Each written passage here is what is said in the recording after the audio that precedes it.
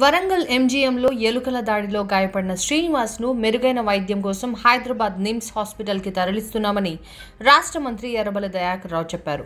ఎంజీఎంలో ఐసీయూలో చికిత్స పొందుతున్న శ్రీనివాస్ కళ్ళు చేతులను ఎలుకలు కొరకడంతో తీవ్ర రక్తస్రావం జరిగి పరిస్థితి మరింత విషమించింది. ఈ సందర్భంగా మంత్రి ఎర్రబల్లి పరామర్శించారు. అదేవిధంగా హాస్పిటల్స్లో ఇలాంటి ఘటనలు పునరావృతం కాకుండా తగిన చర్యలు తీసుకుంటామని డిఎంఈ రమేష్ రెడ్డి అన్నారు. అధికారులు ఎంజీఎం సూపరింటెండెంట్తో పాటు మరో ఇద్దరు డ్యూటీ డాక్టర్లపై వేటు వేశారు. ఈ విషయాన్ని తీవ్రంగా పరిగణించిన రాష్ట్ర ప్రభుత్వం వెంటనే సూపరింటెండెంట్ శ్రీనివాసరావును బదిలీ చేస్తూ కొత్తగా మళ్ళీ డాక్టర్ చంద్రశేఖర్కి అప్పగించారు. ఎంజీఎం హాస్పిటల్లో రోగిని ఎలుకలు కొరికిన ఘటన తీవ్రంగా కలచివేసిందని పారిశుద్ధ్య లోపం వల్లే ఇలాంటి ఘటనలు జరిగాయని శానిటేషన్ కాంట్రాక్ట్ను బ్లాక్ లిస్టులో పెడతామని జరిగిన ఘటనపై పూర్తిస్థాయి విచారణ చేయాల్సిందిగా డిఎంఈ జిల్లా కలెక్టర్లను విచారణ అధికారులుగా నియమించామని విచారణ అనంతరం మరికొంతమందిపై చర్య తీసుకునే అవకాశం ఉందని దయాకరావు చెప్పారు.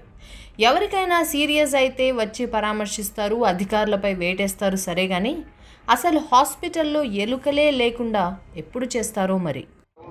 వాళ్ళు చాలా హాస్పిటల్స్ తిరిగి సీరియస్ పేషెంట్ ఆ ప్రైవేట్ హాస్పిటల్ అన్ని కూడా వాళ్ళు చేతులెత్తి చేసిన వాస్తవం. కానీ కీర్తి జబ్బులు ఉన్నాయి కిడ్నీ ఉన్నది లివర్ ఉన్నాయి వేరే సమస్యలు షుగరు బీపీ అన్ని సమస్యలు ఉన్నాయి. పేషెంట్ కూడా సీరియస్ అయింది. అయినా కూడా ఎంజిఎంలో మేము సేవలు అందించాం. గతంలో రమేష్ రెడ్డి గారు చెప్పినట్టు కొంత లోపం జరిగింది. అది ఇంటర్ ఇంక్వైరీ జరుగుతున్నది సూపరింటెండెంట్ దృష్టి కూడా స్టాఫ్ తీసుకుపోయినది. పేషెంట్కు ఆ ఎలుకలు కరవటం వల్లనే అది ఇబ్బంది అనేది తప్పదు. వేరే వివిధ స్త్రీల జబ్బులు ఉన్నాయి. కానీ ఆ ఎలుకలు కలవటం కరవటం కూడా అది మా నిర్లక్ష్యం. దాంట్లో మేము కాదంటలేము. దాని మీద ఎవ్వరు బాధ్యత వహించినా సీరియస్ యాక్షన్ ఉంటుందని కూడా ఈ సందర్భంగా తెలియజేస్తున్నాం. హెచ్ఓడి పొరపాట ఎవరిది పొరపాటు అనేది సమగ్రంగా విచారణ చేసి సీరియస్గా యాక్షన్ తీసుకుంటూ కూడా జరుగుతుంది ఇప్పుడు పర్మనెంట్ సోర్స్ చేసే పరిస్థితి లేదు.